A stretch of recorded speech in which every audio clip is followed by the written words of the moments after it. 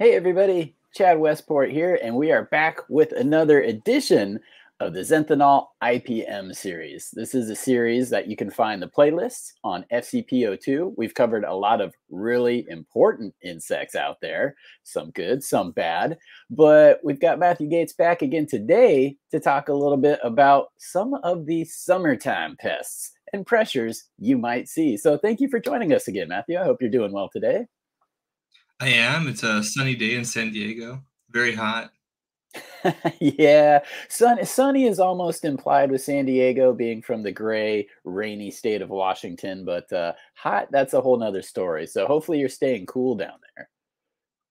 Yeah, I'm doing my best. You know, with some June gloom for a while, um, you know, much to the chagrin of growers who were like, it's supposed to be sunny you know but um and then rains we had tons of rains actually that decimated a bunch of strawberry and other crops but now it's it's traditional sunny.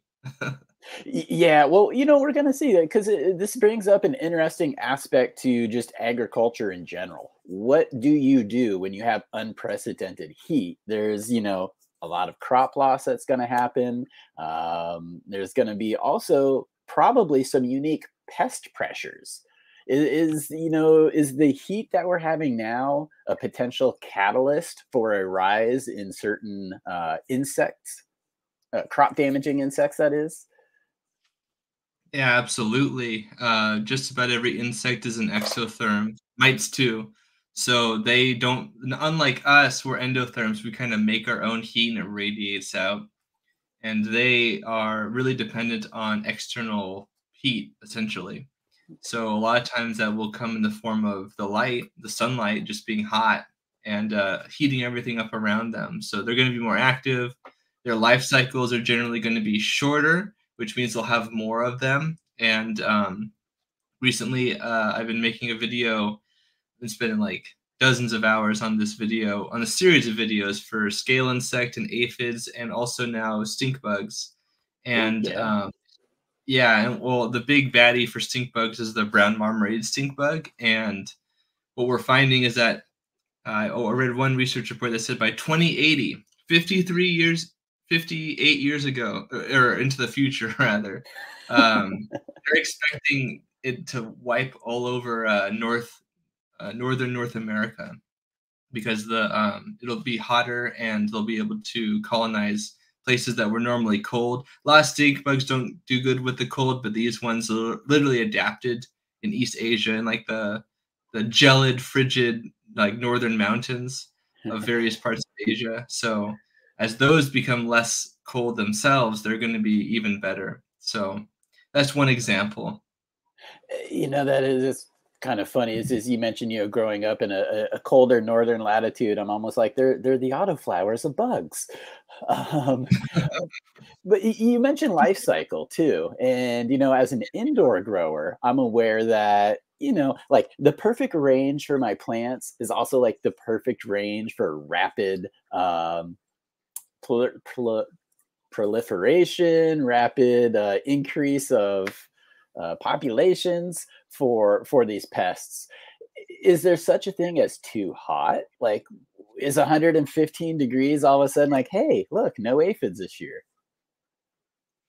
Yeah it can get too hot for sure. It can get too humid too um, or mm. too dry. So like going back to the brown marmorated stink beetle stink bug um, now people get me saying it because people often confuse them with beetles. But uh, the bmsb um, is kind of unique but uh, like if it, if it gets too in this case it's not unique. A lot of insects if it's cold and dry and they're trying to overwinter and they're not eggs they'll dry out they'll desiccate. Okay. So that can be a factor. If it's too humid um, molting so like shedding their skin and becoming their you know the next form the next exoskeleton like with aphids and things if it gets too humid like rice root aphid which i know a lot of cannabis growers deal with um, there's studies that show if it gets too humid then their molting starts to be problematic and they can't like shed their skin properly and that's like lethal. Like that'll kill them. Um, so it's not like it's this, not necessarily going to be a great way to defeat your pests because at those levels it's probably suboptimal for growing a lot of times. Right. But it is an effector especially outside. Yeah, and, and, and, you know that was kind of the next question because you know I've seen um, people, yeah, Jungle Boys comes to mind, um, use you know extreme heat in between rounds to try to mitigate some of the you know insects or potential uh, larvae there, but humidity uh, and, and, I guess my point is that heat that they use way outside of the range you'd ever want to plant in. So I'm assuming that humidity too, that's going to be detrimental to the insects, is also going to be detrimental to your plant. So it's more of a is it something you would do maybe in between rounds indoors or you know outdoors nature will be nature well if they have no plants they can't feed so in that way you're hmm. already kind of winning but okay. if you have like an if you have like an over summering or an overwintering stage of something, yeah, like you can nuke them with the heat and um and, and destroy them a lot of times. Like uh, greenhouses and other other places, like this is very common for thrips because the thrips will drop down. And if you happen to be at like the tail end of your season and it's going to be like autumn or winter, then they're they don't die, they just overwinter. So you mm. kind of don't want that to happen. This happens with caterpillars sometimes uh, a lot of moth species will uh, they'll like dig a tunnel, they'll pupate underground, or they'll or they'll pupate in like the dead plant matter left over from the growing season, whatever you're growing.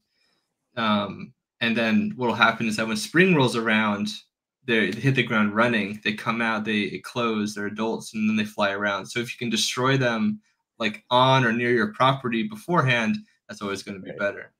Yeah, the the, the reanimation uh, that's a scary thing.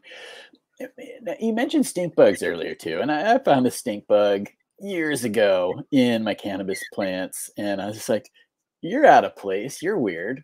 Only ever seen maybe three or four, but I see more people talking about them. Um, I didn't notice any damage at the time. Again, it was just one, and I didn't know what I was looking for. So, what are maybe some of the things that stink bugs can do to a cannabis crop? Uh, you know, why are they bad, and and what can we do to maybe kind of stop them from wanting to uh, habitate in our gardens? So, where it's great we're starting off with stink bugs because generally stink bugs they can be a huge pest in a lot of crops, but in cannabis, in my experience, which is not everyone's experience. And if anyone has a different experience in chat, I would love if they shared it because, you know, we're all trying to learn more. And that's kind of a big importance with uh, cannabis is that a lot of research is still nascent. But in my experience, they tend to be kind of a mild pest. Uh, even BMSB might be the worst of the of the most common ones in North America.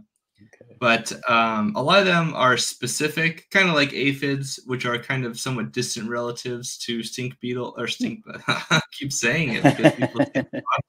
it's so funny because I'm so good about that kind of thing. But yeah, stink bugs are um, they're generally spe- uh, specialists, so they'll go after one or a few different plants that they're adapted to. Okay. But BMSB is a problem because it goes after so many, and some other ones are like. Uh, the southern green stink bug is really common in North America. It's actually from Ethiopia and the mm. African continent. So um, uh, it does really good in uh, in, uh, in in the south where it gets hot.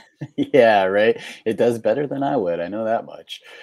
Um, okay, so so that is kind of maybe an emerging pest. Gosh, 2080, just to think of that, that, is going to be one of the more populous ones. Um, more or less in the fields, is there any identifying factors on the plant? Like if you don't actually see the stink bug itself, is there evidence that they were there that we can look for? Sometimes, yeah. In cannabis, um, well, like for example, I'm not sure if this happens very often. I don't really think that I've seen this much, maybe once or twice. Um, the thing about stink bugs like uh, the brown marmorated stink bug is that when they put their rostrum or their stylet, they're like two, they're like piercing mouth part. Um, when they put it into the plant, then what can happen is they they have all these sort of like digestive enzymes and and effectors and things that suppress the plant immune system. Mm. But some of those also are like toxins, and they'll like, yeah, they'll like pre-digest parts of the plant. Uh, so not just the juices that they'd be drinking, like an aphid drinks the plant sap, they'll like just kind of, you know, kind of like how a spider will like turn the insides liquid yeah. and then just drink get everything up. So sometimes you'll see wilting. I've seen that on like the terminal ends of cannabis plants and other plants too, for that matter, that aren't typically a pest. Um, so that can happen, but to be honest, I don't always see that, and they can also feed on like the leaf, uh, the foliage as well, and you don't necessarily see um, like spotting or stippling damage that you would see in other insects. So they can be kind of covert. But if you're growing other plants that aren't cannabis, like fruits and things, uh, you'll get um, like apples in particular, and berries will like become shrunken, and like each little, uh, you know, in with the case of like berries, they'll get like shrunken. Each little segment. Uh, huh. And then with apples, they'll get like um, you might have even seen them at the store without knowing the damage. Um, they'll like have wounds that kind of look like bruises, and if you cut into them, um, instead of being like a place where it got smashed, you'll see like there's like a brown like spot. Um, okay. and that's definitely from the uh, the insect penetrating through. So they love plant juices of all kinds. Oh man, that, that's kind of scary. Now I'm gonna keep looking at all the bruised apples. After I learned about the uh, spotted wing Drosophila, uh, uh, which is a pest here in Washington, and how it oh, infects yeah. a lot of fruit, and it's just, just this little white maggot that likes to live in your berries. Oh man, I haven't looked at berries since I learned about that. I get one. thrips. I get thrips and berries all the time, all the time. People people should know this could be a good topic. Um, people should know that like when you bring produce from the store, it hundred absolutely not hundred percent, but absolutely could hundred percent could yeah. have um have bugs. And in my experience, uh, thrips are really common on like berries here in California, and I'm sure that's not unique. No, no. And and I just want to let people know too, you know, everybody's rolling in chat. Good to see you today. Um, this is going to be kind of an open Q&A session with, you know, the IPM specialist. So I've kind of starred a couple comments already. Um, we'll get to those. If you have a comment or a suggestion or question, that's what I'm going for. Let me know in chat and I will get that to Mr. Gates here get get some of your questions answered because yeah it's you know it's the summer months. It is when we are all looking at our outdoor plants in amazement in beauty full sun glory praying leaves all the potential but there's a dark side to that potential too. There's the potential of pests. So that's why we're here today. Has there been anything new? Because i know you pay attention to this uh, you know, regionally as well as kind of on the, you know, continental scale and global scale, but shrinking that down to maybe your area. Has there been any new and emerging emerging cannabis related pests? Yes, there have been. Um, so like, and everyone, like you say, everyone's going to get a little bit different one that's kind of a putative pest and to be honest i don't necessarily know uh, for sure if it's this particular kind of termite but there's a termite actually here in san diego was recently found another um, colony of, uh, of um, the formosan termite which i think i've talked about here on the show or on different podcasts before. Uh, the formosan termites are really really egregious because unlike most termites where they only only feed on dead wood. Um, the Formosan termite can feed on living living wood, and I've had people send me uh, videos and clients send me videos like, "What the heck is this? These are termites, and they've just cored their uh, their cannabis plants, or they've or they've eaten the outside. Mm-hmm. They come up in the ground, and then they just kind of eat from the ground up, and that can be a huge problem. And I've seen it I've also seen it reported in places like India. Formosa is an old name for Taiwan, uh, which is where the name comes from. They're from like Southeast or Eastern Asia originally. And uh, so that could be a huge problem for people in the future, I think, because um, according to the experts that I've read about, uh, the Formosan termite basically, when it shows up so far, pretty much never gets eradicated. Yeah. Pretty much it's really difficult. It's incredibly, incredibly perdurable. And I don't know, like, and usually what you do for termites is not like great for agricultural crops, right? So I'm not sure we might have to be clever with how we go about it. You know, that is particularly if they're soil dwelling. And it sounds like, you know, you mentioned coring. Are they actually going inside the stalk of the plant to feed off of that tissue? Wow. Yeah, sometimes, but I think they they usually I think they just girdle the plant. So I think they just kind of like eat on the in most of the videos that I've seen. And if people want to see what this looks like on my YouTube channel, Zenthanol, I have uh, I have videos. I have a live stream where I talk about it, and then I have a section that I've cut out that just goes over the termites and, and what the video looks like. Um, I guess we could bring it up potentially if we, people were interested. Yeah, let's see here. I've got a, a video Formosan termite. Yeah. In this page. Oh my goodness, there's a great example. You guys can't see it yet though, so let me share the screen and share the horror. Um, let's see here. There's the right page. Okay, so that looks like a big hollow stem there. Almost looks like Yeah. a tube down the middle of the stem. Um, let me go to full screen and hit play here. Let's see if the audio will come through for us. the more underestimated or underappreciated pests that have been a little bit more recent in my experience.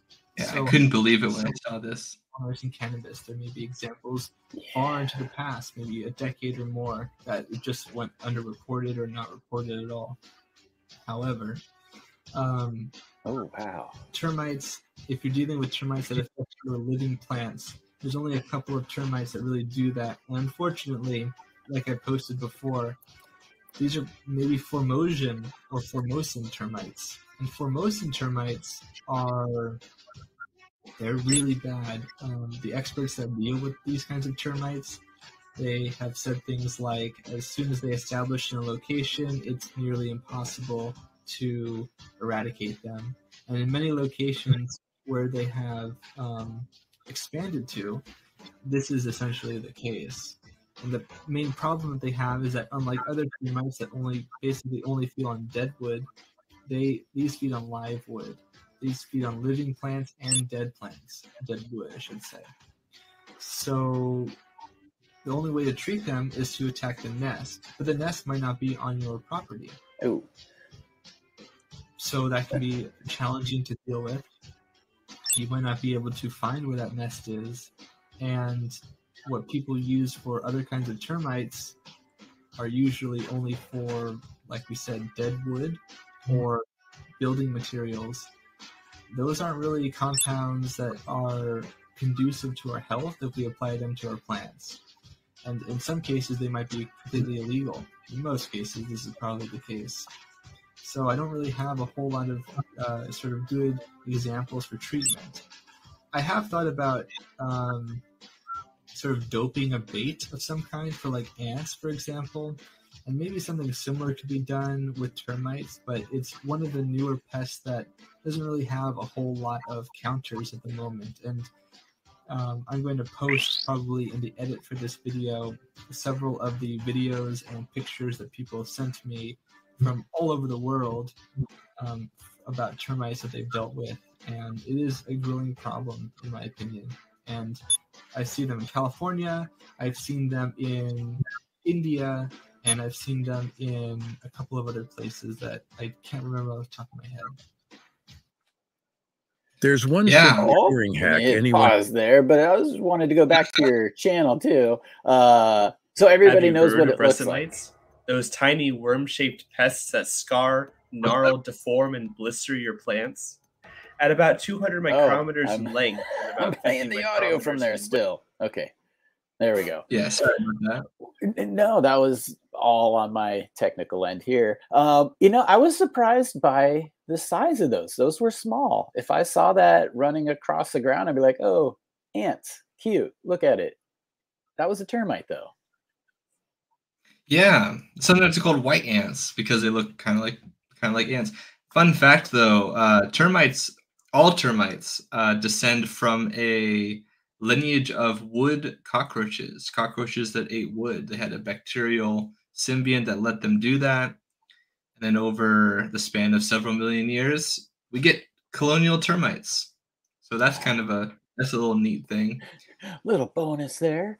Um, here, here- here's a question too that you know it kind of makes me wonder again because these are you know, eating at cell walls and whatnot. Um, pretty predator insects, not a clue. But does silica make it harder? Because uh, silica kind of helps with structure, cell wall type of growth.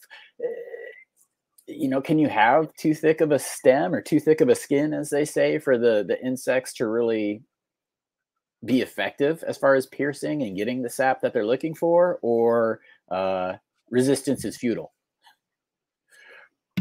No, uh, this is a great example of what you might call a constitutive defense. So, like plants, as I've talked about in the past, that we we know enough about plant physiology to to have like really cool predictive models about how they develop and grow. And one of them that I love to talk about, that you've heard me talk about on the Cheap Home Grow podcast every Sunday, is the plant growth um, trade-off. So basically, plants they don't they can't run away, right? So the way that they've adapted to problems is that they're really good at sensing an issue. They have receptors and things like we do, and then their claim to fame is that they have a proportional reaction to things that stimulate a certain defense response. Now, sometimes pests will exploit that, and so what is a ben- what is a beneficial reaction for one kind of pest can be a detriment for another. And if they stimulate the wrong one or both of them at the same time, these uh, signaling processes interfere with each other because you can't easily grow, you know, quickly and thinly or slowly and stoutly at the same time. Those are diametrically opposed but some pests are going to be damaged by or hindered by one, or and some stressors or problems are going to be solved by the other. And so those are reactive, but constitutive defenses are ones that happen like just as they grow. Normally, they're not, they don't really happen. They can be influenced by reactions and things, certainly, but it kind of like a thorn is a constitutive defense. Like a rose will make right. thorns no matter how much pest damage it, it exposed it's exposed to, right? And that kind of a thing.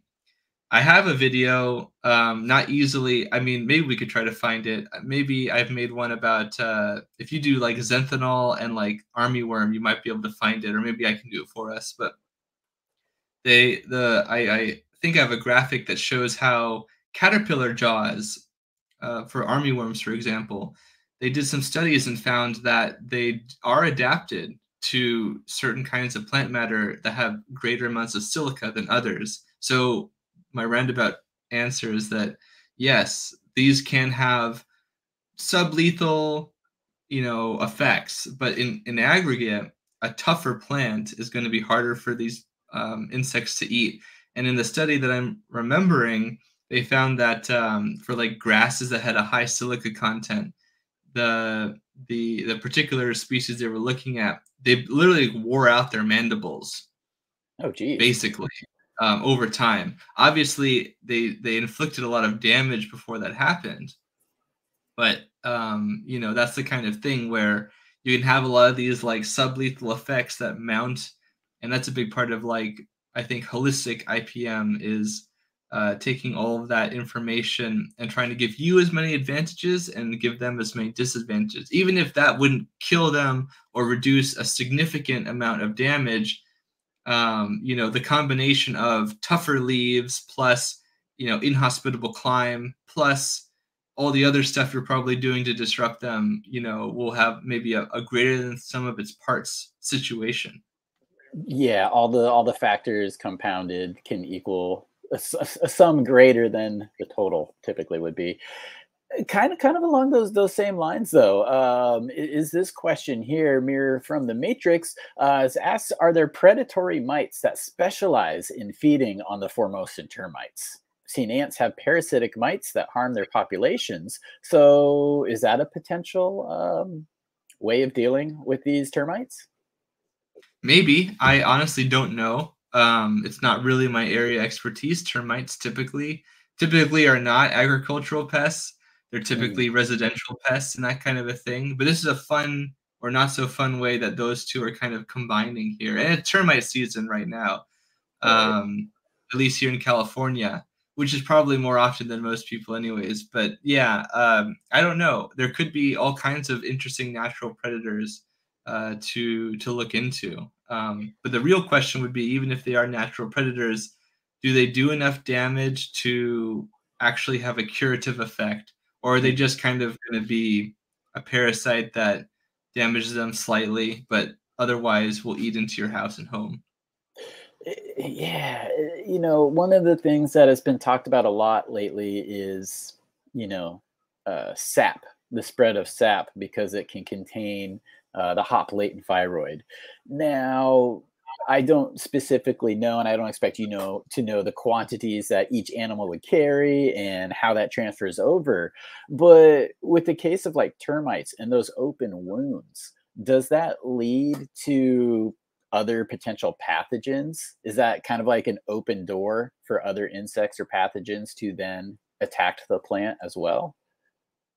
Yeah, absolutely. Especially with the way, if we're talking about termites in particular, mm-hmm. yeah, absolutely, right? Because, um, well, they're probably going to like seriously uh, damage the the plant in general. Probably will kill it outright themselves. But even if they don't, or at the very beginning, you know, all those wounds, you know, they vector. A, a lot of these kind, a lot of insects will vector all kinds of things, opportunistic fungi and bacteria, or in some cases, you know, uh, they have symbioses with uh, plant pathogens. I don't know if that's the case here with the Formosan termite, but certainly it's the case with, uh, like we've talked about before, um, the budworm pest primer from before. There are budworm species out there that have seemingly, or other caterpillars rather, that have a um, they have a symbiosis, a mutualism with like Aspergillus, where I think this is the navel orangeworm I'm thinking of, where they will they can actually eat the the fungus no problem. So they might not be originally but they'll vector it. The fungus will uh, they will colonize the plant damage the plant in their own way and then the caterpillar can just eat up whatever is uh, being affected. And they're very resistant to the toxins which are actually very toxic to many other animals. Hmm. so that kind of stuff happens all the time and that kind of lets them you know survive in that environment too if it affects others and not quite them. Uh, but i do want to let real quick everybody know too about your playlist that we have up here on the fcp02 channel. And as you can see you know we've covered some awesome things. We got rice root aphid cannabis aphids the western flower thrips two spotted spider mites. Those are you know the bane of most growers existences particularly indoors outdoors as well. Uh, but you know, fungus gnats goes back and forth. But here's the budworm that you mentioned, number seven. So that is going to be an important one. And oftentimes, you know, the ones below it, the budworm will lead to, you know, bud rot, botrytis, sometimes even powdery mildew. So definitely go back and check those out. Uh, everybody for a much deeper dive into everything about these different pests. But do please keep asking your questions uh, related to them and related to kind of you know Matt's expertise here. Um, we had you know just kind of a, an observation, and I've kind of been seeing this too. Uh, you know, who knows? Maybe I don't get out enough, but people I tend to see less aphids this year. I don't know if that's just in my head or if there's like a weather related phenomena associated with that. Um, what does it look like out in the field to you? You know, I, I am getting people with uh the typical rice root aphid a lot lately. Um, but you're you know it could be that some places less so. And there's all kinds of aphids. So like you might see aphids on like some dandelion somewhere. That's not necessarily going to affect your cannabis, for example, or any other crops you're growing. Right. Uh, but that being said, you know, um, if we have a lot of, I mean, I was just working with somebody uh, just filming something, and they had a bunch of uh, like dandelion Uroleucon aphids, which are like the dandelion aphids, the black ones you might yep. see.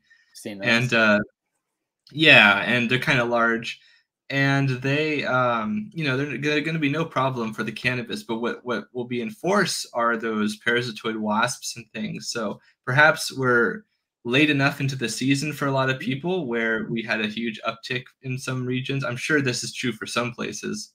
Um, so that could be causing some of the uh, the disparateness, uh, the the less aphids that people are seeing. That's that's a very good correlation there. Um, something I didn't think about easily. I can relate it here to the amount of rabbits I see in the coyotes. There's an ebb and flow to it. Yeah. You know, hunter and predator. When there's a lot of uh, well, when there's a lot of prey, there's predators. Less prey, not as many.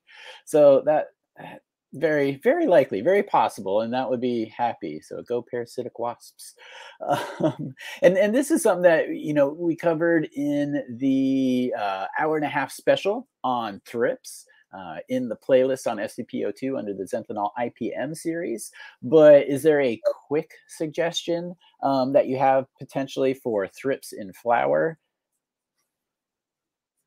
Yeah, so like there's uh there's different kinds of thrips you can get, but assuming it's in my opinion, uh, you know, I often see thrips and it seems like at least in the cases where I've checked, which is not every single time, they seem to be in a way that's really confirmatory, which we could talk about uh, as well maybe in the future. But you know, they seem Western flower thrips are super common. They're the most researched thrips. They feed on just about the most plants, I believe, of all the thrips. So they're a huge, huge um, population in North America and elsewhere. So if you're dealing with those, unlike other thrips you might get in cannabis that might be less affected, I would recommend like predatory mites and things like that. Okay. But it really depends. You know, you can't just say that. Like, you can't just be like, oh, just release, you know, natural enemies, everything will be fine. You know, it becomes yeah. a question of how many are you seeing and that kind of thing. But my quick reaction is if they're not a whole lot, and you're able to acquire them and apply them appropriately, uh, type 3 predatory mites like Cucumeris and Swirskii work really well. And um, I generally don't like to apply things into flower. So that's kind of my opinion. Yeah, no, good, good answer. I think it's uh, you know resonated across a lot of you know IPM experts. Uh, flower is always a hard time to do anything. You don't really, yeah, I mean, you don't want to spray. That's just period, point blank you don't want to spray. Uh, so you do need to find some alternative methods. Uh, and there's there's an exception for everything, but yeah, that's that's a very good answer there. I've got another question coming in from chat. You guys are awesome today. Thank you, and keep them coming. Um, Nug Jumpa. He's got a spider mite issue indoors. So definitely, if it's a two spotted spider mite, definitely go back and watch the uh, the special uh, dedicated episode Matthew did for that. But the reason I bring this question up, because he says, Would you suggest a pyrethrum bomb in veg? That's one question. My question, though, please, for everybody watching, pyrethrum, pyrethrin. What is yeah. the difference and why do we always interchange those two? They're so dang close. It's because it's because how chemistry is named. It makes a lot of sense, you know, for people who are specialists and they want to they want they want to describe a class of compounds that have similar functions. Sometimes they're classed by just their shape. Sometimes they're classed by their function. I'm not a chemist, but you have to learn about some of that stuff, and so that's the logic behind this reasoning. And uh, it's not always the case that same shape means same effect, and effect is going to be contextual. But pyrethrin is a natural compound. You can synthesize it certainly, but it's a naturally occurring compound too. And uh, chrysanthemums and um, pi- uh, permethrin and pyrethrum are not though just not pyrethrin. And of course, those sound very similar. Pyrethrum is a synthetic compound, and it's a lot more. Um, well, it affects the the the, the system of, of insects much more strongly. So of course it's more effective in that way. But I wouldn't apply it in plants because and I think on the labels of these pyrethrum bombs, they talk about how you shouldn't release them or shouldn't activate them in uh, spaces where there's going to be animals or I think also plants. Okay. And um, another reason is because it can be systemic and it can get into the tissue and, and, and reside there inside, not just outside. And and yeah, and that's good. And I see a follow up comment from him. He says, uh, pretty well controlled, just looking to not for the knockout blow before resetting flower room. So yeah, if if the room is empty, um, eh, it's know, fallow. They can't eat anything. Yep. You're already good. And if it's not super cold, then they're you know, and even if it was, if they didn't get the the lead up time to kind of go into an overwintering sort of uh, behavior, then they're out of luck. They're probably fine. You're probably fine. So, you know, one of, the hard things too, because I've, I've dealt with, you know, room resets before on a larger scale.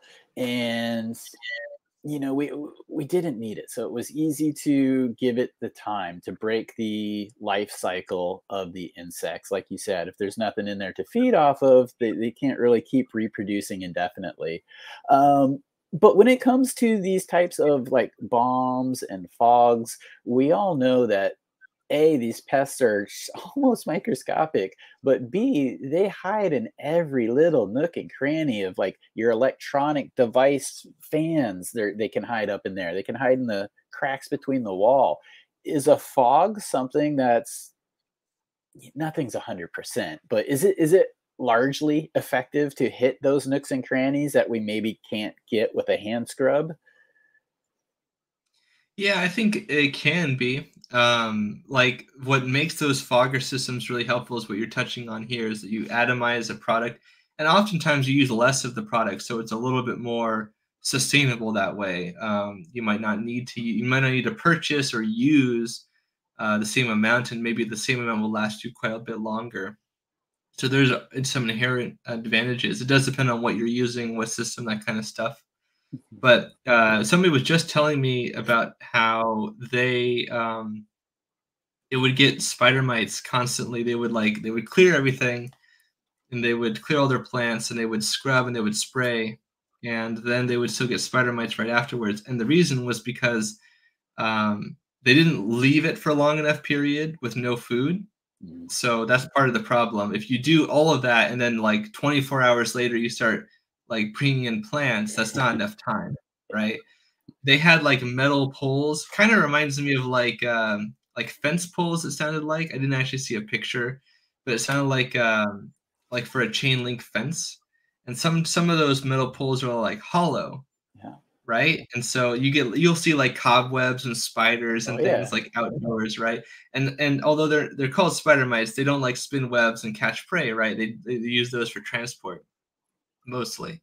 But yeah, that what was happening is that they were eking out a short-lived existence. Some of them inside these poles. I don't think there was like an intelligent decision on their part. It just they happened to crawl into it, it and probably were we're not sure what was going on, uh, and they they avoided the cleaning, and then they had a problem. So it's it's always important to not only just clean, but also um, you know kind of wait. That waiting time is really crucial because you're starving them out. And that's you know that's always my number one and my best advice but it's probably the least followed advice out there because people you know turn and burn man got to get that got to get the next one in there.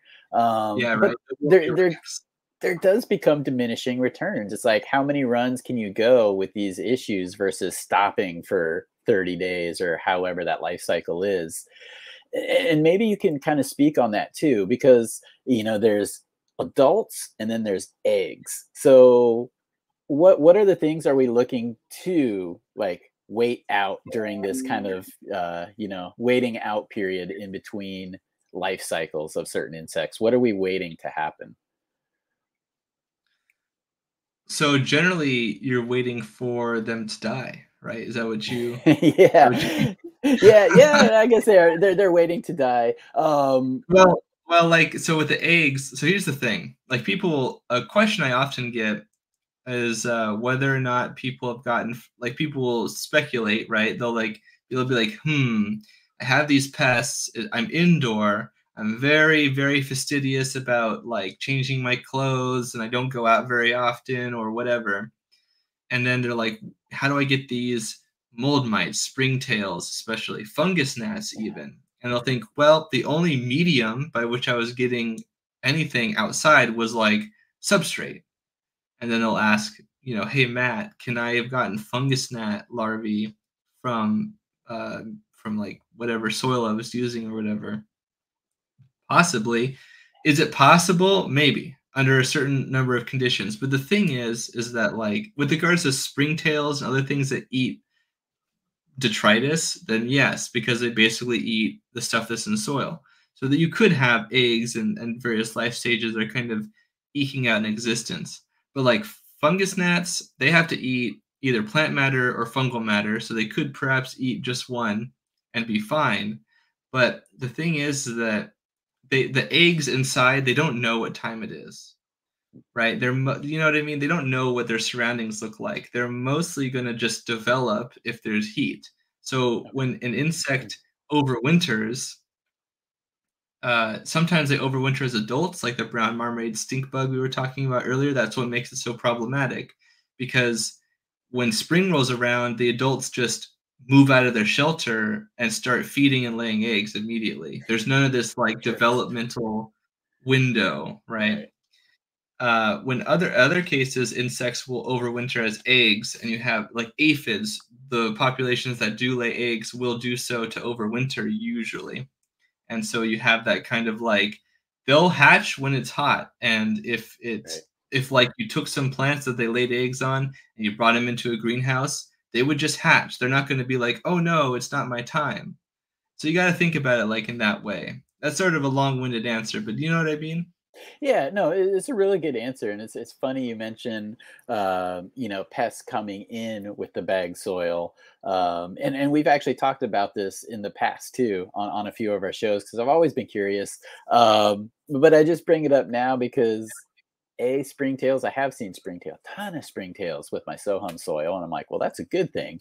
Um, but I just bought a couple bags of Fox Farm, and the old joke, wife's tale, is oh, they all have fungus gnats. I have not seen a fly in my grow for years. I used this Fox Farm, and I've seen like four or five since I put it down. I'm like, where's there where there's smoke, there's fire sometimes. But that being said, caveat, there's a lot of distribution, there's a lot of grow shops that it sits in. So this is not necessarily a manufacturing issue. It could be a plethora of other uh, injection or intro- sites for him to be introduced. But yeah, I just thought it was funny. I'm like, I have not used Fox Farm for over a decade, and my the grow shop near me closed, which was an hour away. So I now have to drive an hour and a half. And the Wow. literal only soil they had was Fox Farm. I was in a pinch, couldn't get my Sohum quick enough, so I bought a few bags. And yeah, I'm like, God dang flies. Oh well, not an issue yet. Knocking on wood. I know you, so you can help me if I have an issue. That's right. Yeah.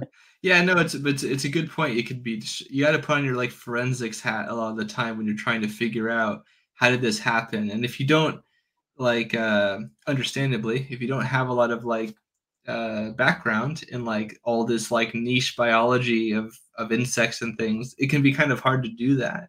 And you're and it's really important to like not be sniping at um things that aren't necessarily there. Uh, but you're right. It could be it could be the manufacturing. It could be the distro. It could be that a few bags um, got like over soaked with water or some kind of moisture. They were stored improperly, and then you got fungus growing, and then you got fungus gnats coming in. So like it's so that's why I say, is it possible? Sure, maybe, but it might not be what happened here. Yeah, I pulled. I'm gonna grab it real quick because this this bag, I swear to God, I pulled plant material out of it. Is I was like, what the heck is in here? I'm gonna grab it real quick. Yeah, do it. Looking at chat, if you guys have any questions that chat hasn't already gotten to. Sorry for my little shy sideshow here, but yeah. So I was opening the top of the bag of the soil, and I've got like this, like a green. I don't want to put it over my computer because I'm dropping soil right now. But let me blow up my screen. Um, but yeah, like That looks kind of vegetal. Yeah. What is Yeah, that? it almost is it looks like- like, a like a leaf. It almost feels kind of like felt, but then also too, in the same bag, there was this one, which actually is a piece of paper. Like I can see some writing on it. But yeah, oh this, shoot. this was all Like, uh inside my bag of Fox Farm, man, sitting on the top. I'm like, is is there plant material? Because again, I'm I'm very vigilant about not taking clones and, and and plant material because of diseases. But when it's Hmm. coming in your bag soil, When it's paper, I mean, that's really surprising. Like newspaper kind of stuff. Um, almost looks like an invoice, and and I've seen this in other soil companies too. I found like shredded pieces of plastic of the bag that they added in. Oh, sure. Um, I found all kinds of weird stuff in bag soil, but uh, this th- that one kind of took the cake because it's a big piece of like green, or even if it's paper and maybe it's molding, but that again that would create the fungus uh, uh, for these things to feed off of if that were the case.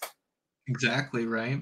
Yeah, that's. Uh, I'm really glad you brought that up because, yeah, like absolutely, absolutely illustrative of what we were just talking about. Because I, in my mind, I'm imagining this platonic ideal of soil uh, that you're not necessarily getting from the high, you know, from the hydro store always. Yeah, the, again, this is a rare exception, um, but sometimes That's okay. That's done. okay. You still have good grower status. I think. I think everyone. I think everyone's in agreement. But that's the thing. That's logistics. That's why I try to speak probabilistically. Sometimes it's a little annoying. It adds a few words to my sentences, but it's more accurate that way. it, it is but you know speaking of you know like grow stores too you're getting out there and you know boots on the ground as they say um and getting out there as part of your pestapalooza tour do you maybe want to tell us a little bit about this stop and we'll cover some of the upcoming stops Yeah, definitely. So I had a really cool turnout, really great turnout. Some people, one or two people uh, flew in, one person from Wisconsin wow specifically, which was very uh, humbling. And uh, this was in Long Island. This was a LA, LI Hydro, great place. And that's Jordan River, who you know, Chad, of course. oh yes Um, and there's me talking about bugs. And we had this quick reference guide that you're seeing here, um, which is this right here, uh, which I will I can show later.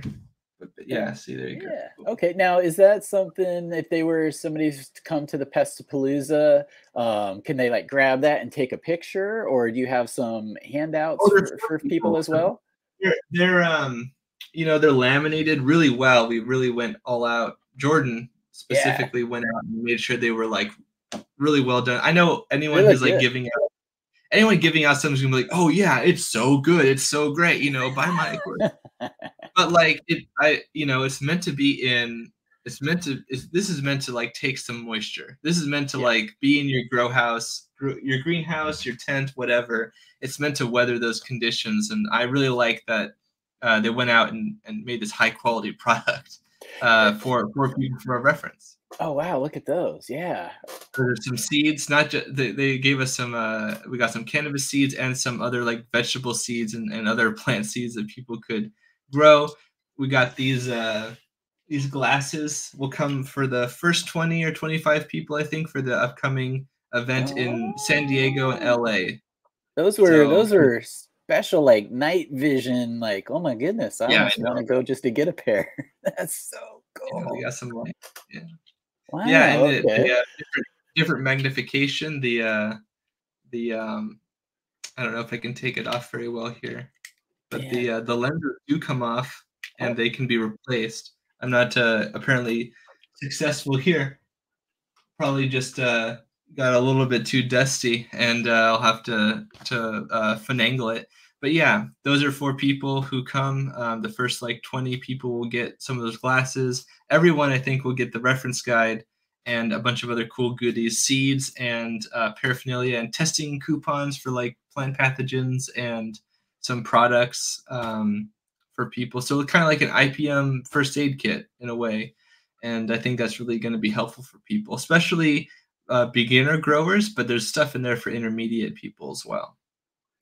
and that's good because you do you know pests are universal beginner grower or experienced grower you, you've got to hit them it's good to understand some of the basics behind them uh, that way you get a better uh, idea of how to deal with them what can they take what can't they take um, and so having something like that you know again new or old perfect to have in the grow room. And you know astral says yeah good call on the lamination there because I know a lot of people, you know, they'll have their VPD chart or they'll have like a, a you know plant identification deficiency type of chart in the grow room, but when you laminate them, they they last a whole lot longer. Uh, also, sometimes you can use like a dry erase marker. If you go into a room and you're kind of identifying things. You can kind of like potential, potential, potential, and then you can reference it later when you're looking back at it, even when the plant has progressed or the you know the symptom has progressed. Is it following? Nope. Okay it's not magnesium. It actually looks like phosphorus.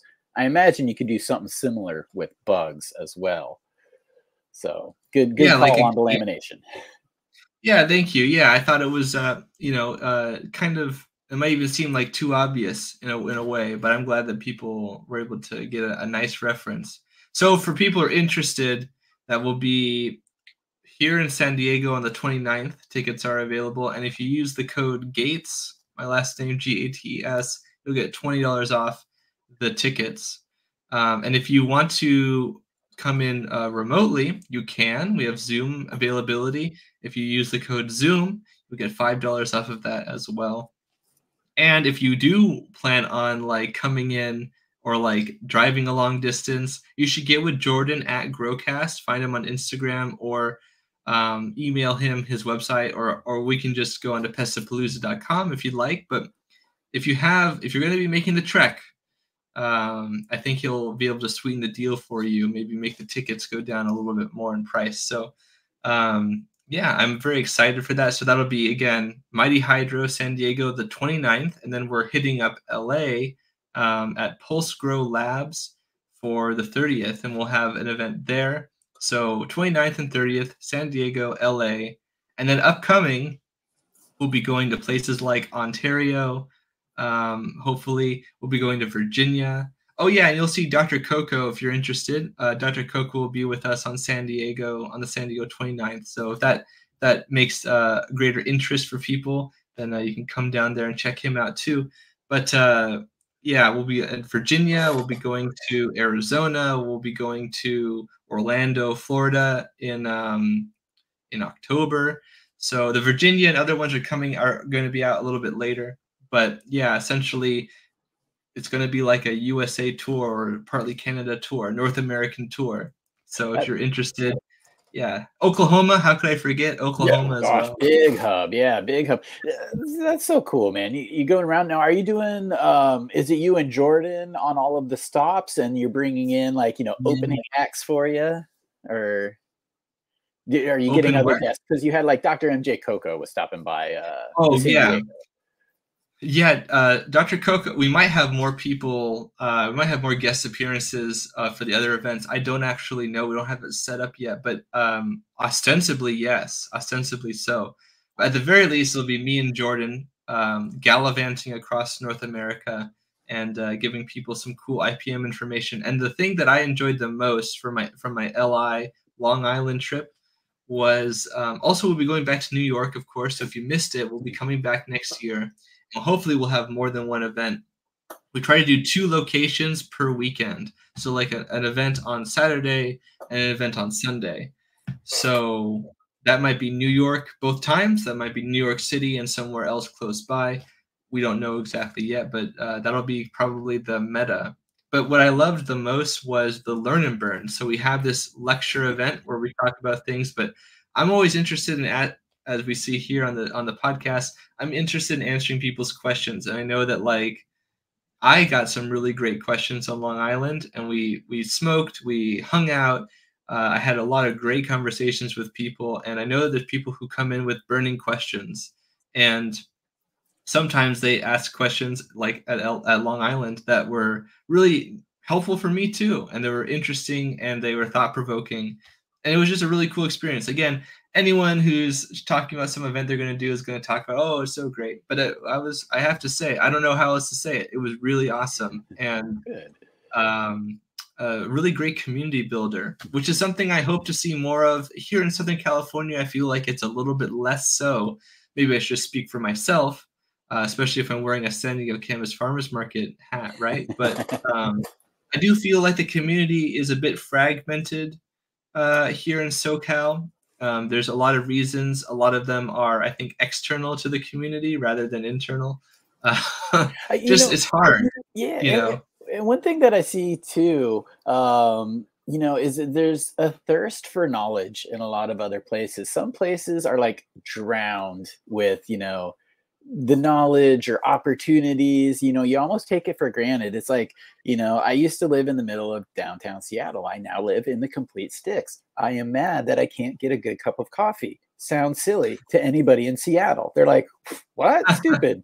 but if you're, you know, in areas like Oklahoma or, you know, areas on the East Coast where this legalization is new, you're thirsty. You want to know this knowledge and it's cool that people are able to get together because it's always when like-minded individuals come together that the best or the most gains are achieved. And to do something in person we all do this over you know the internet and online and it's freaking fantastic. But to be able to you know shake somebody's hand or maybe go visit their farm that that's pretty priceless. Yeah. so i imagine that's something that people also are kind of getting out of these presentations not just the knowledge but also camaraderie, and that can carry you know further. I uh, hardly agree, and it's like uh, you know one of the event, you know, one of the uh, interactions I had uh, right before the event in Long Island was I asked people like kind of what they were into, kind of as we were setting up. I asked several people who were there. Um, a lot of people were interested in getting into the fledgling New York market, which mm. is actually kind of cutthroat right now. Um, it's New York, man. yeah, New York. and there's also there's all kinds of other. Uh, so I guess the mayor isn't super happy about all the people setting up shop yeah. um, without paying without paying what they're supposed to pay. Exactly. Uh, so so you know a lot of people like when I asked them if they're interested in commercial growing or something, a lot of them raised their hands, and they had they were they hadn't done that before and so that augmented how I went about the lecture. So I think mm-hmm. every time it's going to be a little bit different based on some of those preliminary questions and information that I can get from people. And um, you know, I focused on some things more than I would have uh, otherwise done. And I think I made it from a for a, a much better event overall.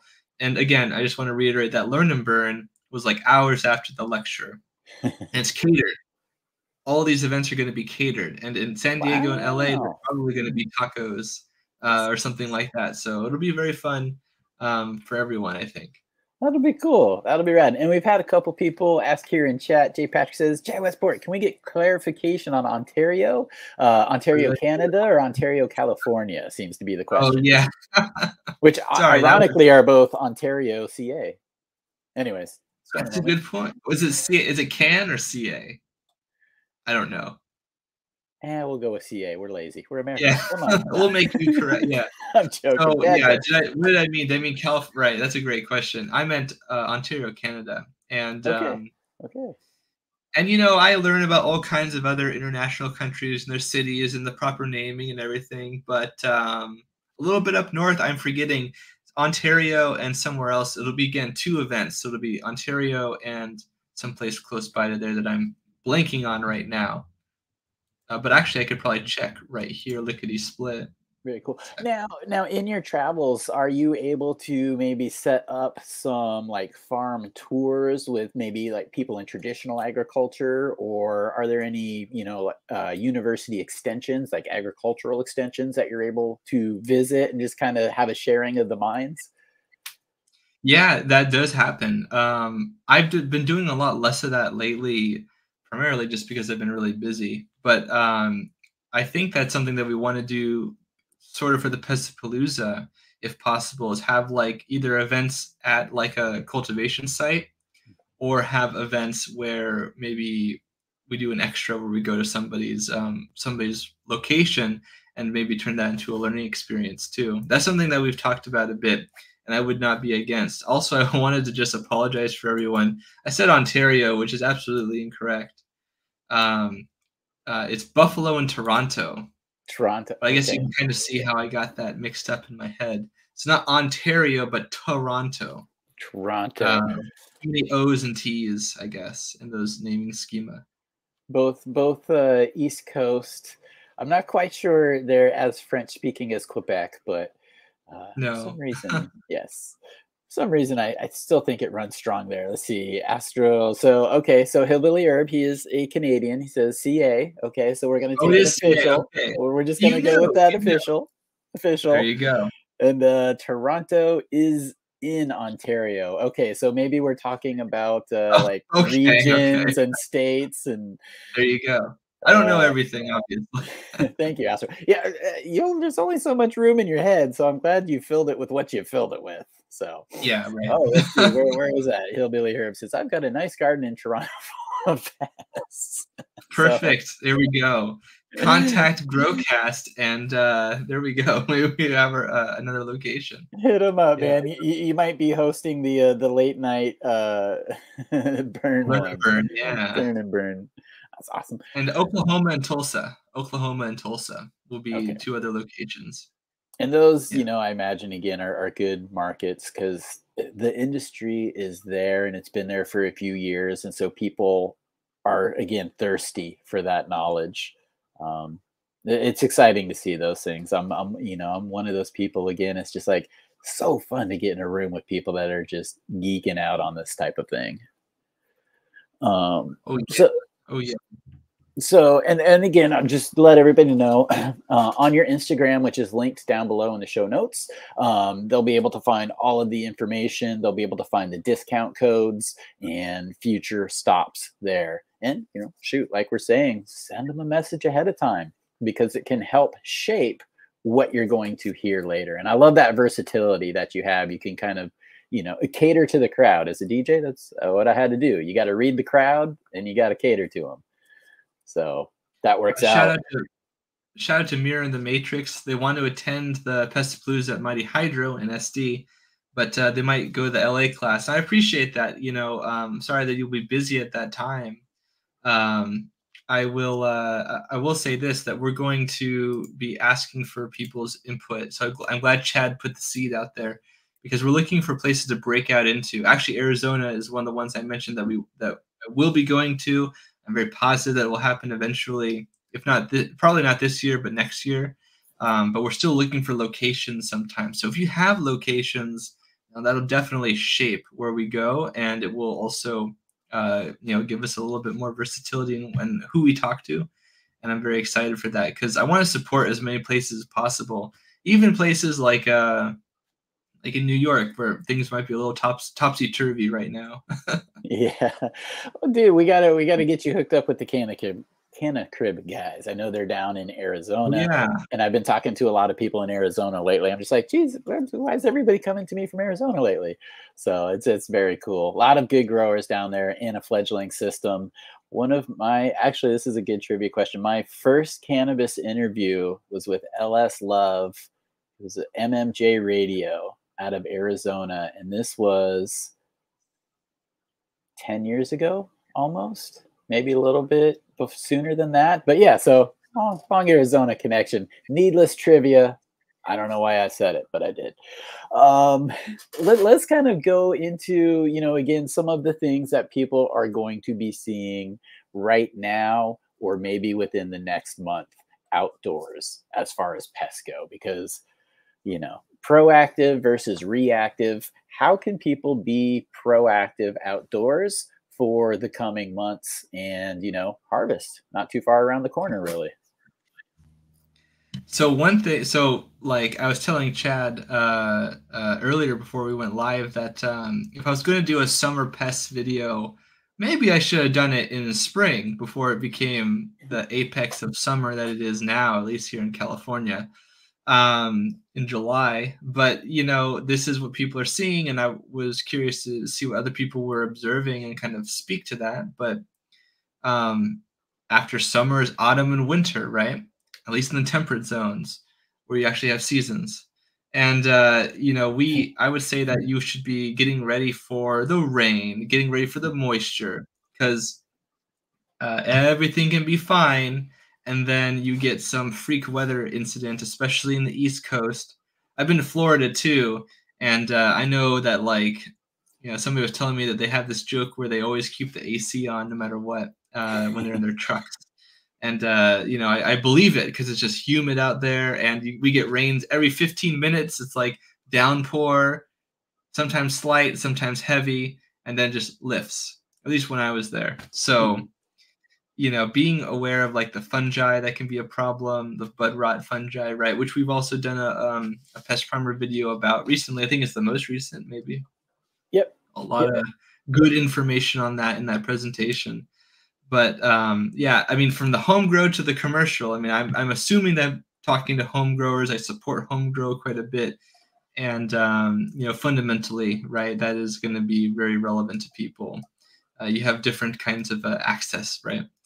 But yeah, I would be worried about um, also, like we were saying earlier, being worried about things that are going to become less active because they'll be active next year. So um, whether you grow outside or inside, um, some of those pests maybe will be relying on plants to grow up in the springtime, annuals and things like that that might get a head start on like the brown marmorated stink bug we were talking about earlier, another factor that was found not only was uh, desiccation and cold a problem, at least really extreme cold, uh, but a huge, a big problem was also whether or not there was moisture or a lot of evapotranspiration during spring.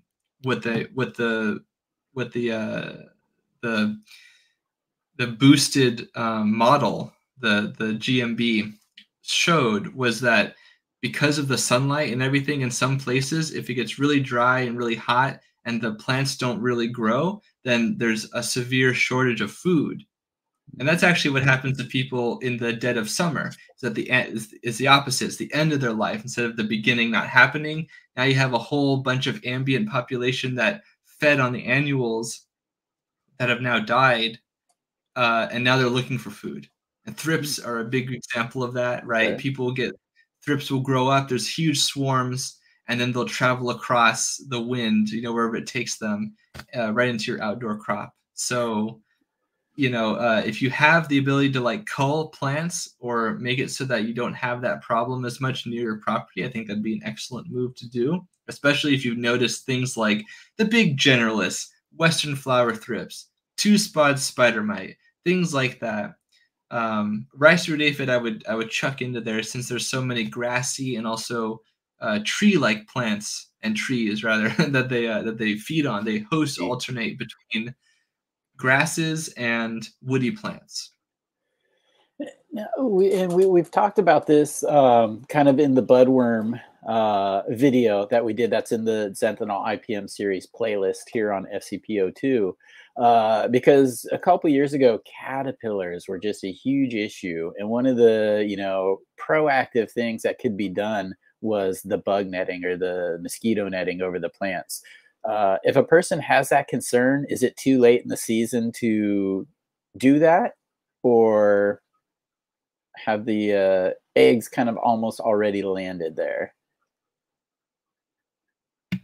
Uh, for the budworm moths. Yeah, yeah, because I, I know one of the the preventative measures was you know just insect netting, bug netting over the Yeah. plant because they can't get through, get into your buds, make the hole, and then cause the botrytis.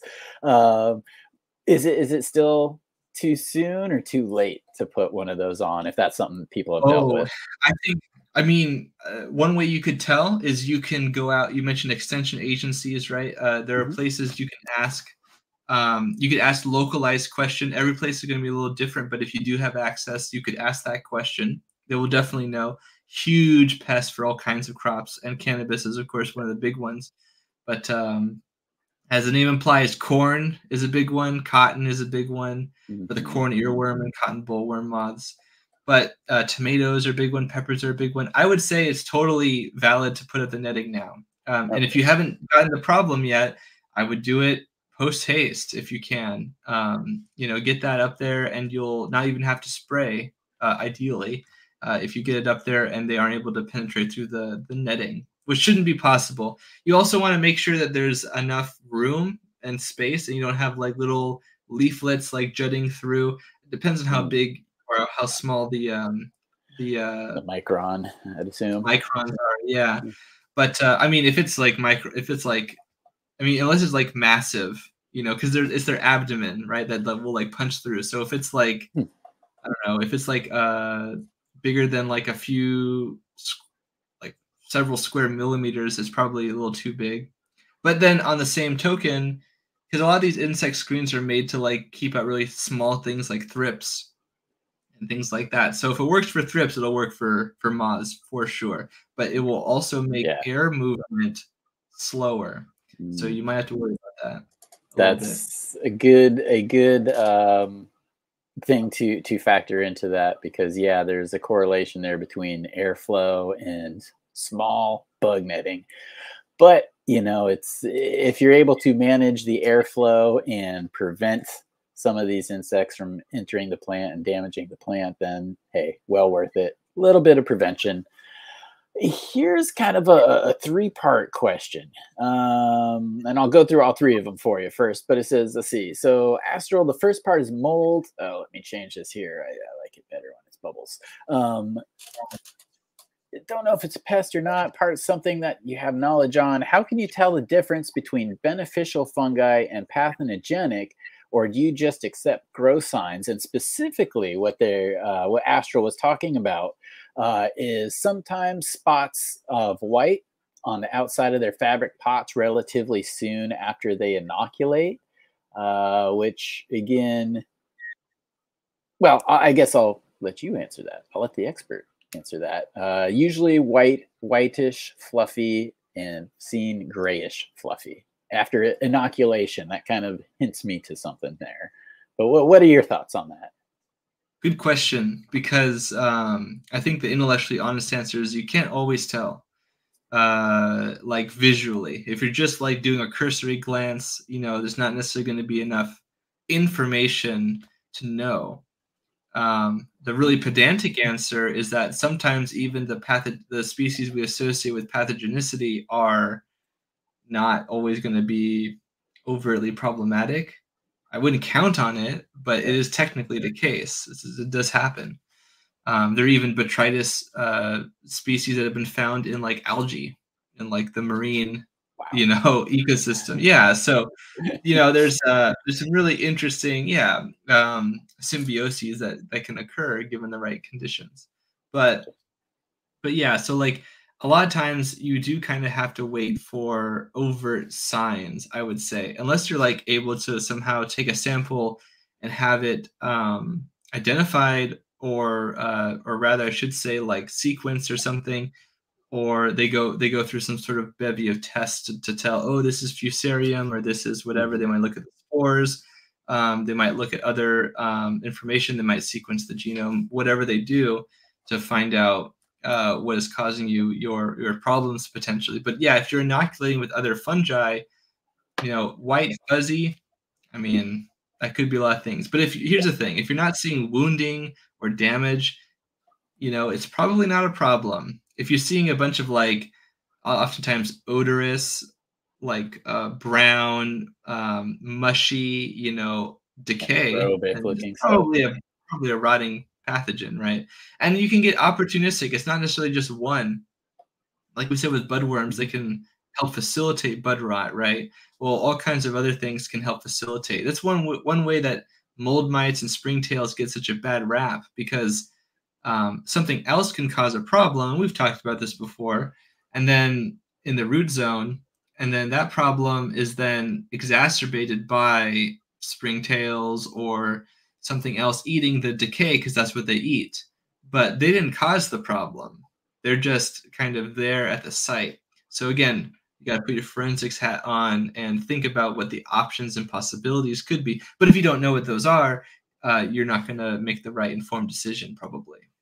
Yeah, very true. The the known unknown.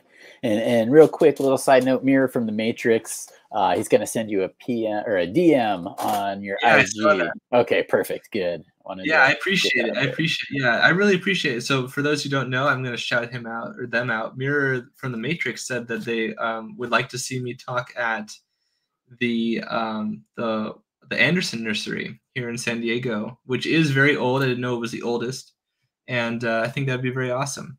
Yeah, yeah. Walter Anderson's nursery in San Diego. That's pretty cool.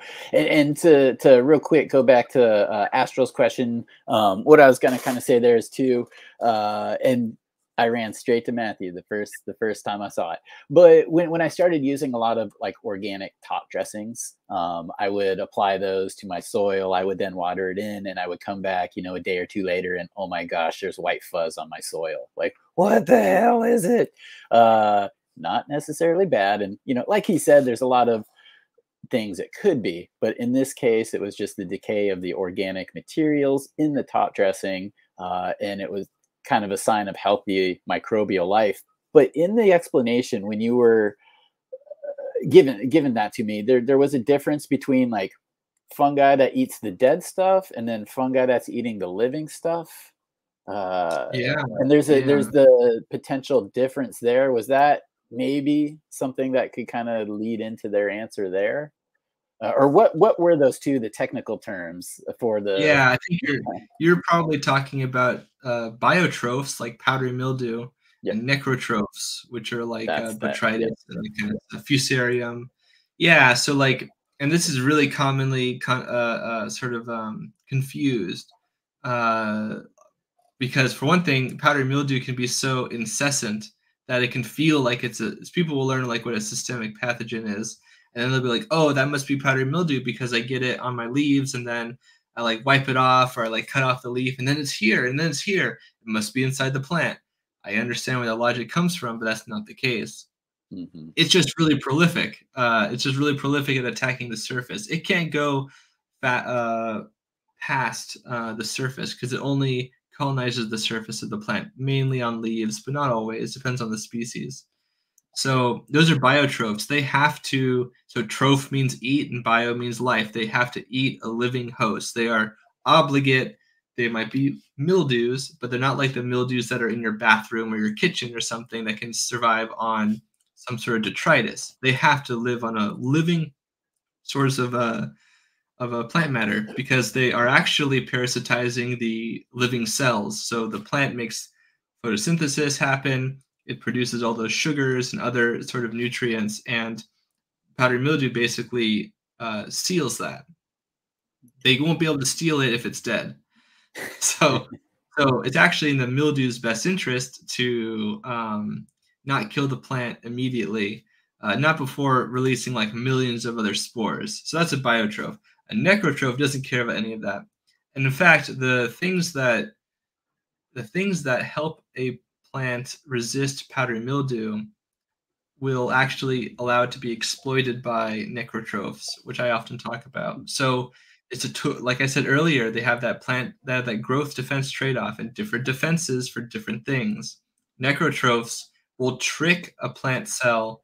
There's all kinds of plant cells and actually eukaryotic cells in general, our cells, mammal cells, plant cells. One of the ways we get rid of a pathogen like a virus is it just self-destructs in many different ways. This can happen as a way to uh, limit a pathogen spreading, right? Um, so plants do that, and plants necrotrophs will trigger uh, this sort of um, reaction, this uh, what's called hypersensitive response. So this destruction, the self-destruction of the cells. And when it does that, uh, it basically destroy lets the cell destroy itself and then eats all the nutrients and then grows and then insid- insidiously moves between the cells, primes them, infects the cell, and does the same thing over and over again. So in that case, it doesn't really care if the plant is living or dead. It will sop up all the nutrients and continue to create wounds. And that's why they're so lethal so quickly, because it can very quickly, like if you get like Pythium or something like that, um, you know, similar sort of system where it might just girdle the plant from the from the root base uh, or from the crown of the plant really quickly, and then that's it. It's like strangling the plant. You know, they can't. None of the nutrients are going to get up after you girdle it, so it'll die. And so for Astral, that's a good two good words to start to look into um, to kind of maybe help determine what you're looking at. There is just the biotroph and the necrotroph. Uh, necro, necrotropic, can we say that, or is it necrotroph? Necrotrophic, yeah, necrotrophic, biotrophic. Oh, I also want to say for for Jay Patrick in the chat asking about the Canadian dates, they're not Yep. on there yet. You're just, you're just getting a super secret, uh, hidden look at what's going to be happening. So um, You heard it here yeah. first. Heard it here first. That's right. Yeah, so so that is the plan. Probably next probably next year, but maybe still this year. We'll see. We'll see. I'm not actually sure what the exact dates will be. Uh, but if you're interested, yeah, please tell your friends, and uh, we'll be we will be there. That is one of the ones we will be going to. Awesome. Good, good, big community out there too. So I'm sure that will be well received. Um, I want to let everybody in chat. We're kind of coming up on the hour and a half here. Um, everybody, if you've got some more questions, definitely get them in. You've got the expert at your fingertips for the moment. So get your questions in. But I also like to obviously give you some final words and, um, you know, anything that we've kind of left untouched here when it comes to summertime pests. Absolutely. So I think I'll just I'll talk about some of the ones that are common that I've been encountering with clients and just people sending me stuff from their home grows. Mm-hmm. So um, like the uh, picture I gave Chad for this video, um, thrips is a big one, uh, Western flower thrips in particular, but there are other kinds of thrips that you might get. So learning learning to identify at like a basic level, like what certain group like larger groups called orders of insects are can really help you in in figuring out what what a kind of insect is or other kind of organism like a mite or whatever how do you tell a mite from an insect that kind of thing which is in our presentations our pest primer videos on this channel FCP02 but also on my YouTube channel, Zenthanol. So thrips are a big one. Uh, spider mites are a huge one, especially when it gets hot and dry. Uh, a lot of research reports will talk about how even though humidity, a little humidity will help their bodies kind of not desiccate, apparently spider mites do really good in the heat and when it's really dry and dusty. I think the dust actually helps protect them a little bit from the UV rays and things like that. They like to be on the underside of leaves too, but um, sometimes the population gets big and they're walking around anyways. And so um, I think it works kind of like a, blade of sunscreen. So spider mites, thrips. Um, for summertime, you might, depending on where you are, you might be getting budworms already. I usually associate that with like autumn, but um, they can definitely come in earlier. And certainly on other crops, they do. So if you live near farmland, things like that, then I would expect them more and more. And then also, I've been seeing a lot of aphids for cannabis, cannabis aphids certainly, and rice root aphids. Uh, you know, it's not. I don't think it's a big enough sample size to say that in aggregate, cannabis aphid is on the low and rice root aphid is on the high. Uh, but in my personal experience, it just happened to be that I'm seeing more reports of rice root aphid than cannabis aphid. I don't think that's surprising in cannabis. And I don't think that's surprising because rice root aphid is so prolific. It feeds on all kinds of plants. Cannabis aphid has to be on cannabis and mm-hmm. um, pretty much doesn't feed on anything else, as far as we can tell. Or at least it can't easily reproduce on anything else. That's the caveat with aphids, I suppose here's here's maybe a topic for the East Coast. Shout out to DP. Good to see you, buddy. Um, let me go back to the bubble. So oh sure, yeah. Uh, it says he was just in PA and they had a huge spotted spotted lanternfly problem. Uh, pretty as hell, but just messing stuff up. So yeah, are those the little glow bugs we see flying at night? Is that what he's talking about? the lantern. They don't. They don't glow, but they look. They look like those uh, plant hop. They look like the lantern flies that have like the big, like nose looking thing. Oh, okay, the little sh- almost an. They don't have the nose. They don't have the nose, but they are kind of close to that group.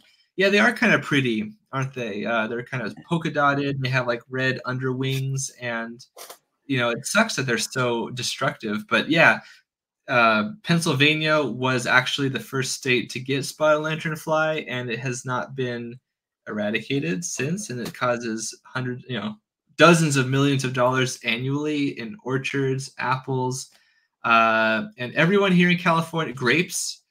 Grapes are like one of the biggest ones. Um, everyone yeah. here in California is just waiting. We've already we haven't yet, I don't think, but we're waiting. Like it's look, I'm a, I'm I try to be an optimist here, and obviously I'm the kind of person who uh, you know is trying to help people out with their problems. But like the combined might of the USDA, other international organizations, uh, and all the different state iterations therein, have not squashed the spotted lanternfly. So, You know, it's like the Formosan termite. Like I don't know what to tell you. The, the- it looks like it probably will continue to expand. That's just the reality of the situation. I'm not trying to like threaten anyone or make anyone super alarmist, but um, that's what the saying. Yeah, be prepared. And and before people ask, uh, yes, I do have a cannabis video on spotted lanternfly. Is it a host? It is a host. Has there been a lot of research? No, there has not. But because I uh, shul some Zhongwen, I was able to look at a Chinese research report and get a little bit of help in translation. And um, and uh, I did take a look at some information that showed that indeed um, they have been spotted on cannabis. Are they going to be a huge pest? I don't know. Probably if they are, probably only outdoor. Um, probably not so much indoor for obvious reasons, like the same reason budworm doesn't come and invade your indoor facilities so easily Right. because they can't get in the door. But yeah, be careful for that. Be careful for that one. And also, it can cause indirect damage uh, if it damages all the agriculture around you, and suddenly places start to, I don't know, consolidate or places drop out of business that would supply agricultural work. That will affect you, just like it affected Chad. Uh, now he has to go drive one and a half hours instead of one hour. That kind of stuff will have knock-on effects. So be careful. Yeah, and I, I wish soil was cheaper to ship. Otherwise, I'd ship it here like everything else to this oasis of civilization I live in now. but uh, nope, driving that hour and a half to get soil. Uh, good answer there. Uh, a quick, another quick question. Nug Champa says, if I have to spray during flower, when should you halt sprays? My answer is when you start getting bracts and stigmas. When you start getting those, stop um, people do push it further, but I'm I'm a pretty black and white person when it comes to things. Um, so stop. I don't know your your your answer because you've seen a lot more practical application. You've had to massage more personalities uh, Yeah. dealing with that. I mean, I have the same I have the same philosophy that you do. That um, you know, there are there are products I've talked about where you could perhaps apply them, when we talked about budworms. You know, um, I'm I feel reasonably confident that even though I am skeptical about products, and you don't always get to hear about what the inert ingredients are in certain things, so I'm always a little bit skeptical. And I've already told the story where I bought a product, everything was fine for months and then suddenly they had something in the product that they shouldn't it popped hot and we talked to them and it was like we don't know what happened so that kind of thing happens sometimes but barring those caveats generally feel reasonably confident and safe that some of these biopesticides like uh, bt bacillus thuringiensis for budworms are generally safe and then you apply them and they're not going to be a problem not in flowers so you're really only going to be applying them in flower if you are uh, pyrethrin, for example, is another one we talked about. Not permethrin, not you know pyrethroids or things like that. But pyrethrin, which is a surface level compound, it's not systemic. It readily breaks down into other things that are not harmful in the presence of light and air, uh, water, I should say, which are two things that you're probably going to encounter, um, you know, with cannabis. So, and, and it decays really rapidly into these constituents that are a problem. So like if you had an insecticidal problem, you might consider that as well. But like really, you know, um, don't don't uh, don't rest on your laurels and don't don't just say that oh I can just apply pyrethrin it's no problem. Let the aphids get into the thousands it's no issue because that's going to lower the quality anyways. And if you're in a home grow, you know you can really amp up that quality by being very uh, careful. You know, so that's my opinion. Yeah, no, solid, solid advice there. Uh, as a person who many, many years ago let something that wasn't really damaging my plants, I just let it go. Um, knowing what I know now, it was damaging my plants, and I saw it a year or two after the fact. So yeah, um, and Hash, we got a question from Hash here, and this will help if you're indoors or outdoors. So if you can, just let us know, give us a little update in the chat. Um, but he says something's eating the leaves. I inspect every single leaf, but I saw nothing during the day, which maybe leads to this question here: uh, Is there a better time of the day to be scouting than others? Oh yeah, so that's a good question. Um, when I talk to clients about crop scouting, uh, I am sort of unfortunately a lot of times people don't put as much effort as they should into it either don't have a crop scout that's dedicated in a commercial setting or a team of people. Um, but at the same time, you know, like when I talk about the subject, you could alternate. You could like um, could scout in the morning and then scout in the afternoon, uh, different weeks, and see if you have a sort of a difference in what you see. But generally speaking, I feel like the best times are like morning time. Some pests are active at different times. Moths are active at night. Generally, for example, you're probably not going to be. I mean, the moths are. The larvae are going to be active during the day. You know what I mean? So uh, it really does depend on what your pests are that you're talking about. But Mhm. generally, I think it's fine to do in the morning. A lot of people like to do it in the morning in a commercial setting, and in home grow, you kind of have your own schedule, right? So I don't think it's necessarily bad or or anything. But um, some organisms like slugs and snails will be active Mm. at like nighttime, Yeah. and then they will like go find a hidey hole, maybe in your mulch or somewhere else when it's daytime they don't desiccate. So that that has sometimes happened but usually you see like mucus um, trails and things that have dried up and if that's the case or it's like something that has if it's outside it could be like a beetle or something that eats the leaves and then just takes off and they don't stick around. Sometimes that happens. Sometimes it, you have to wait until a population really booms before you're seeing them kind of all the time Snails are a perfect example because I see the damage on some of my leaves in the day. Uh, I see them in my beds. I curse them. Uh, but then when I take the dog out at night and I have the flashlight, oh my goodness, they're like clinging to the side of the house. They're, yeah, it's like step crunch. Oops. Yeah, night. Those things are definitely nocturnal. Uh, and, and I want to give a shout out here. Let's be buds. Um, I love a little shameless promotion, a little shameless plug. So Let's Be Buds says, Matthew Gates, where are you going to be on August 9th? Shameless yeah, I'm going to be on the Let's, Let's Be Buds podcast. That's right. So I'm excited for that, and we'll we'll be talking about all kinds of cool stuff pest related. Um, yeah, so check us out. Check us out. Let's Be Buds. I assume it's on the same channel. Yep, yep, on the Let's Be Buds YouTube channel.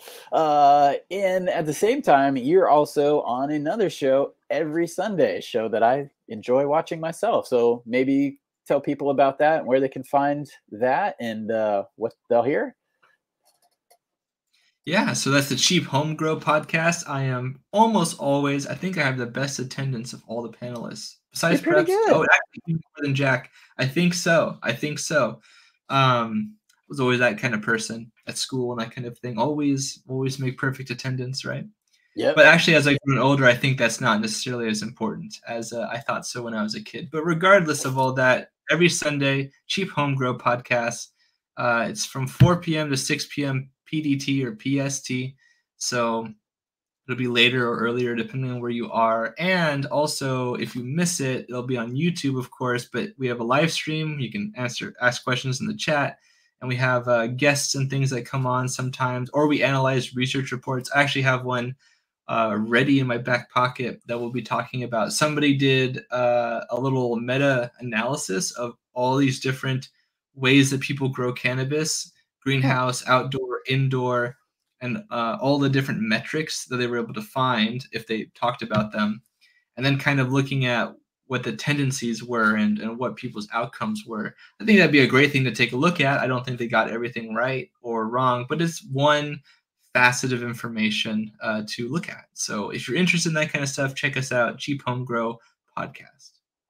It- it- it- excellent show watch it um and and one thing that you guys do is you know you do talk a lot about like white papers is you'll you'll diagnose or dissect and everybody will give their you know input on it uh, and the reason why i just kind of like blank i'm like oh man i've got one that i gotta send you. It's it's about vegetative time and overall yield and i was having a debate with my editor uh, at ilgm and sent me this paper and i'm looking at it and i'm like this makes absolutely no sense. They're in short, in short, they're saying a five week vegetarian period has better. We're, we're talking about final yields. I'm like, if you veg a plant for longer, you're going to yield more. But the paper is like, if you veg for like five weeks, then it has optimal growth. Well, I'm like, well, what does optimal mean? Optimal just mean better growth. That doesn't mean more yield. But yeah, I want to send you this paper to see if you can Yeah. crack that nut because me and the editor are going back and forth. I'm like, dude, I don't care what you tell me. I don't care how many papers you show me. If I veg a plant for three months, it's going to yield more than a plant that veggies for three weeks. So, yeah, according to the That paper, I'm wrong. That was well, you know, it's you have to see if they qualify their statement. That that's sometimes how they can be like a weasel word, like, well, it's optimal That's in this very narrow definition where this is what optimal is, which Yeah. maybe is useful if you're in that situation. But you know, like you say, it's kind of like you've seen us talk about research reports. We uh we we will sometimes pick them apart. Sometimes they are like, do you remember that uh the the one from uh, Russia where they were doing the electroculture and it was like oh like the like they just even the, there was like no diagrams the explanations were bad like most research Yeah. reports even like because you got to be peer reviewed Yeah. right so usually there's this meta about how you write where like you make it so that even somebody who's not a spe- maybe they're still a scientist but maybe they're not in your specialized field they can still kind of get the general gist um, but these people were doing none of that and they were none of that. claims. So it was like, like I feel like a high schooler could tell, like if they're trying to read this and be like, oh, this is not even. They're not explaining any technical terms. They're just like, oh yeah, of course you know about this and that, and That's right. It's like when you handwrite official copy along the top. You're like, yeah, exactly, right. Yeah, I don't know. They're making some interesting claims about how light worked, and I think it's uh not true. So, anyways, yeah, So yeah, yeah, and, and real quick, uh, the keeper says, "Do termites damage plants?" Absolutely, Amen. they can. First, first twenty minutes of the show, hop back to that.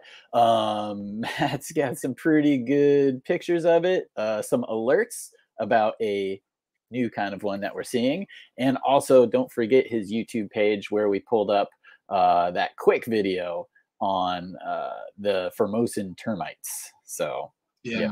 emerging pest threats. So definitely tune into that. And again, everybody, these uh, his IG links, his uh, YouTube links, Patreon links, um, able to get help links, everything is in the show notes. So go down and hit that up. Short answer, yes. Um, a website, yes, his website is up there as well. Definitely check that out.